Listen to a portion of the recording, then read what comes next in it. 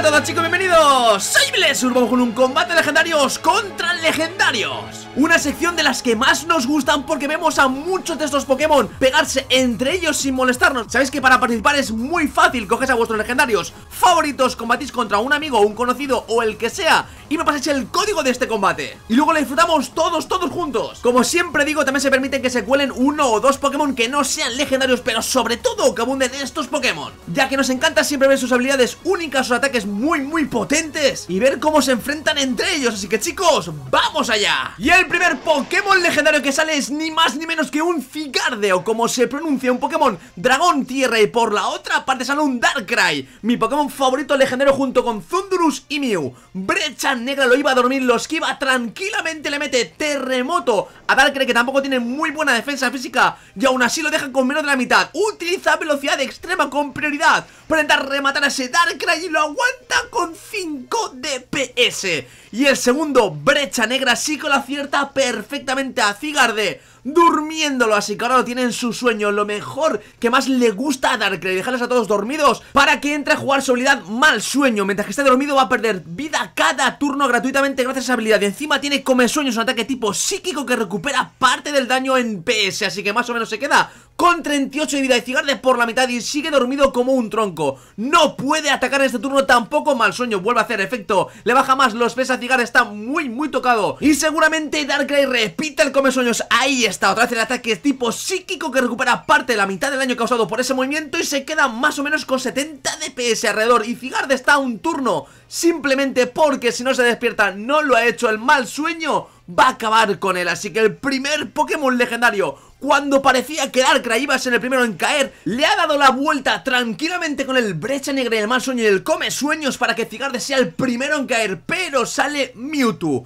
Activa habilidad presión, le baja los PP del último movimiento y es Mega Mewtwo y por lo tanto la brecha negra contra él no le va a servir de nada porque tiene habilidad insomnio. Impide que le duerman sea como sea. Mega Mewtwo que por cierto es precioso a mi parecer Es mucho más rápido que Darkrai con la esfera aural ataque tipo lucha especial. Va partida Darkrai por la mitad Y pone de nuevo el empate en este combate de legendarios contra legendarios. Darkrai también ha caído. Sale Lugia como nuevo compañero de Darkrai contra ese Mega Mewtwo Y activa su habilidad también presión y retiran a Mega Mewtwo y lo guardan, se lo guardan de momento para dar paso al siguiente que es un Ho-Ho, un Pokémon también, por cierto, de la saga Oro y Plata, me encanta verlos uno contra el otro. Lugia hace Aerochorro, no va a ser tampoco muy dañino contra ese Ho-Ho, lo va a aguantar muy pero que muy sobrado. Y Luya ahora sí que le mete tóxico, así que cada turno que pase Ho-Ho va a perder vida y encima progresivamente con ese tóxico gravemente envenenado. Fuego sagrado de Jojo, ataque físico de tipo fuego que puede llegar a quemar y lo consigue a la primera. Uno envenenado y el otro quemado por culpa de ambos ataques. El veneno va a avanzar cada vez más en Jojo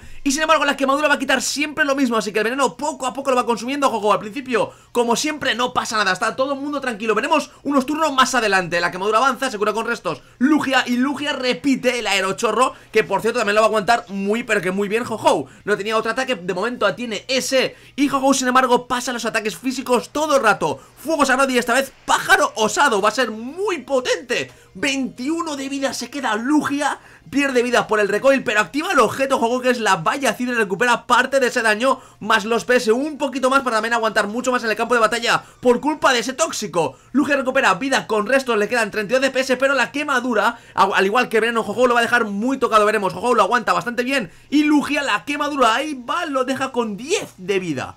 10 DPS, Lugia es más rápido, utiliza recuperación. Así que ahí está la sorpresa que Jojo quizá no se esperaba. Puede curar la mitad de sus PS Y aunque repita el pájaro osado lo puede aguantar, creo yo, otra vez. Y luego puede hacer lo mismo, recuperarse de nuevo Y el veneno que vaya avanzando en Jojo Otro pájaro osado lo deja con 23 de vida y va a pasar lo mismo. Daño de recoil no está esta vez. La valla cidra para recuperarle vida a Jojo Y Lugia recupera vida con restos. El veneno avanza en Jojo y la quemadura va a avanzar en quién? En Lugia. Pero en el siguiente turno creo que Jojo puede caer. 12 DPS, esta vez antes eran 10 Ahora son 12 DPS Aerochorro no ha hecho recuperación. Quiere ver si le intenta rematar a ese Jojobo Que se mate solo en el siguiente turno. Casi lo consigue, se ha quedado también a nada pero con el pájaro osado, y si no es así, por el veneno va a caer también, pero se lleva a Lugia, se lleva a su rival de la saga Oro y Plata, se lo quita de encima, y así que él va a ser casi un doble KO, muy bonito la, lucha entre Lugia y Ho-Ho, porque al final entre el recoil y el veneno también cae,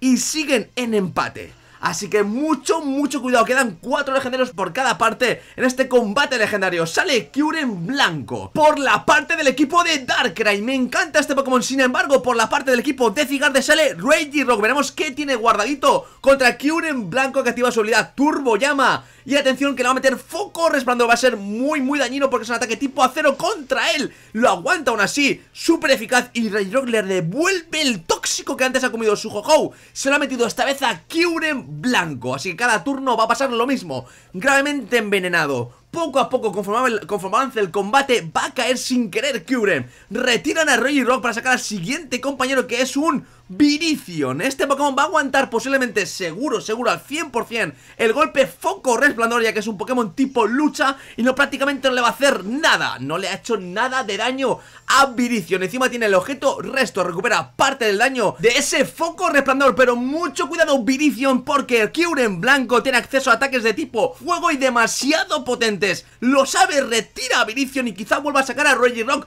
para intentar aguantar ese ataque de tipo fuego. Efectivamente, Rock sale ya muy tocado eso sí, con vida amarilla para aguantar el llama fusión. Que por cierto, la animación de este ataque es preciosa. Veremos si Rock consigue aguantar este golpe. Lo aguanta, no daría para otro llama fusión Pero este turno lo ha hecho perfecto Para que el tóxico vuelva a avanzar. Y ahora si quiere debilitar a Rock Tendrá que atacar con foco resplandor para intentar debilitarlo. Sin embargo, en el turno que debilita a Rock El tóxico va a volver a avanzar pero Kyuren Blanco pone un poco la delantera en este combate de legendarios. El veneno vuelve, vuelve a avanzar con menos de la mitad de PS 81 de vida y sale Mega Mewtwo. Y creo yo que va a hacer de Revenge Killer Ahí está, onda mental. Otro movimiento para mí muy bonito de este Pokémon Fijaros cómo eleva la cámara, baja y le golpea. Precioso, también cae rápidamente Kyuren Blanco. Otra vez están en empate Sale Arceus y si no me equivoco, por cierto, ese Arceus tiene la tabla de acero Así que es de tipo acero, lo va a probar con esfera oral. Ese Mega Mewtwo va a ser súper eficaz, sí. Así que tiene, es un Arceus tipo acero. Utiliza paz mental, se bostea el ataque especial y la defensa especial. Así que por esa parte va a estar mucho más protegido Quizá del siguiente esfera oral de Mega Mewtwo que está plantado delante de él. No, lo retira para dar paso al siguiente compañero que ya le quedan muy muy poquitos. Sale Virizion que antes ha aguantado perfectamente un ataque de tipo acero y quiere hacerlo de nuevo con el Sentencia que va a ser, este ataque es del tipo el cual sea ese Arceus en estos momentos, sé que es un, golpe tipo acero, lo aguanta por la mitad de vida y eso que estaba bosteado bastante en ataque especial, se cura con restos y se levanta justo por la mitad.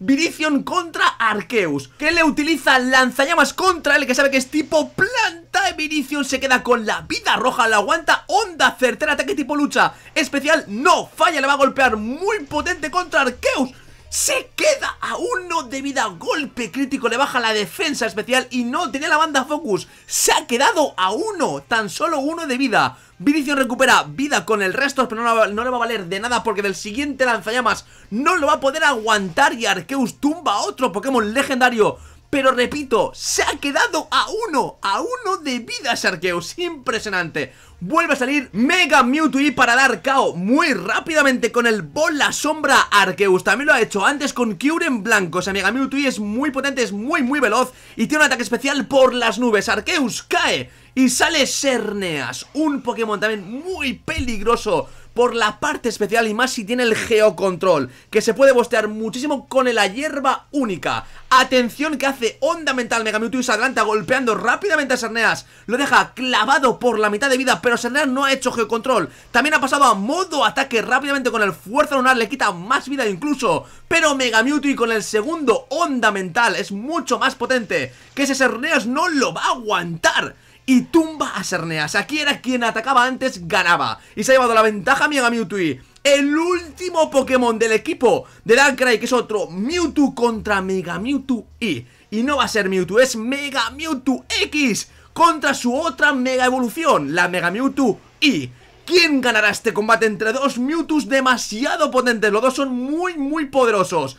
Utiliza bola sombra, tiene toda la vida, sabe que le va a hacer mucho daño a ese Mega Mewtwo X 53 DPS, psicocorte No va a ser muy eficaz, pero puede debilitarlo. Lo aguanta, no ha saltado el golpe crítico. Y del segundo, bola sombras en Mega Mewtwo Tumba al Mega Mewtwo X y creo que el equipo de Cigarde junto con ese poderoso Mega Mewtwo se lleva la victoria. Así que chicos, este ha sido el combate legendarios contra legendarios de esta semana. Me ha encantado y pedazo de final un Mega Mewtwo X contra la otra Mega Evolución que es la Mega Mewtwo Y Y se ha quedado a nada de vida el Mega Mewtwo Y con ese psicocorte del Mega Mewtwo X Pero lo aguantó, no saltó el crítico y del segundo la sombra lo debilitó. Espero que os haya encantado este pedazo de combate A mí me ha encantado muchísimo. Y ya sabéis con vuestros likes y comentarios me dais un montón Y abajo en la descripción siempre está está mi Twitter y mi Facebook para que me podáis seguir. Y estamos unidos cada día. Así que... ¡Chao!